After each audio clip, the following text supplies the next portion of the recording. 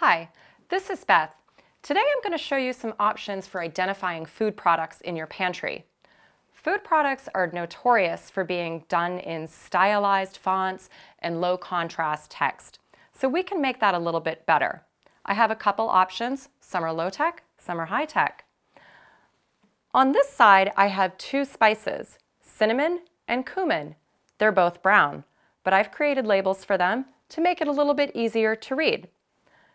This label was done using my printer and creating some Avery labels.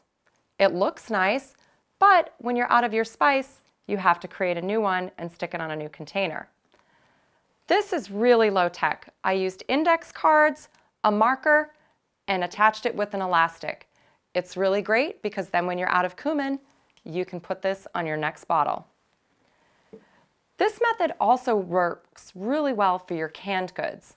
In this case, I've written refried beans really large.